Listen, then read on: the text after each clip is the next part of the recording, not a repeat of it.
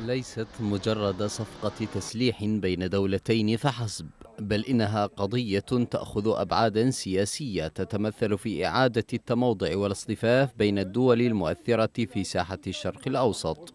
منظومة الدفاع الروسية إس 400 تصل تركيا بعد محادثات طويلة بين الأتراك والروس دخل الأمريكان على خطها مهددين وممتعضين. من شأن تلك المنظومة أن تزود تركيا بسلاح دفاعي متطور يدخل البلاد المنضوية بحلف الناتو في إطار تحالفات جديدة تغير من خارطة القوى التي كانت معهودة منذ خمسينيات القرن الماضي.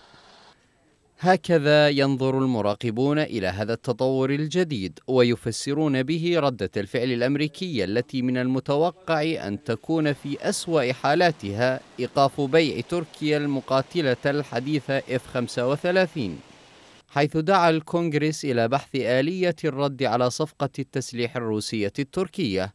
من باب آخر تجد واشنطن نفسها مجبرة على التعاطي مع هذه الصفقة كأمر واقع جاء بناء على ردة فعل ضد سياسات خاطئة في عهد إدارة أوباما إذ أن تجاهل أوباما لمطالب تركيا في الاستحواذ على منظومة دفاعية وخصوصا الباتريوت أجبرها على البحث عن قنوات أخرى خارج منظومة حلف الناتو. ثمة تعليل يرجح عدم فرض واشنطن عقوبات على أنقرة مفاده بأنه إذا كان هدف الرئيس الروسي فلاديمير بوتين من تزويد أنقرة بهذا النظام الجوي المتطور هو دق إسفين الخلاف بين أعضاء الناتو فإن إفشال غرضه يقتضي التروي وعدم تفكيك العلاقات وقطع الشعرة كليا مع تركيا.